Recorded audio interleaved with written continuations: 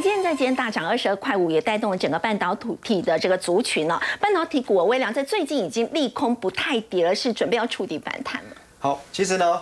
呃，半导体不是万能，不过呢，没有万半导体呢是万万不能，因为未来的趋势产业啊，不管是 AI 啦，或自驾车、电动车、五 G 哦等等，其实这必定都会用到半导体，所以趁着呢今年的上半年还在呢。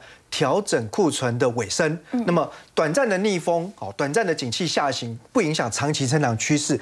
我们看的红色这条线就代表呢半导体产业的 Y O Y 的循环。嗯，那么在二零二三年的今年，这个循环呢即将落底，所以呢今年就是谷底。那明后年开始呢，它又会回到成长轨道。至于说我们要投资半导体，你选产业选个股，其实呢轮动很快，因为有记忆体、有 I C 设计、有晶圆代工、有封测等等，那我们就直接透过 E T F 哦就可以。呢，包裹一篮子的股票。对，那目前呢，台股当中呢，半导体相关 ETF 总共有五档。那很简单，告诉大家怎么选哦。前面这三档，中信关键半导体、富邦台湾半导体、星光台湾半导体，这三档都是投资台湾上市贵的半导体公司。哦，那后面的这两档。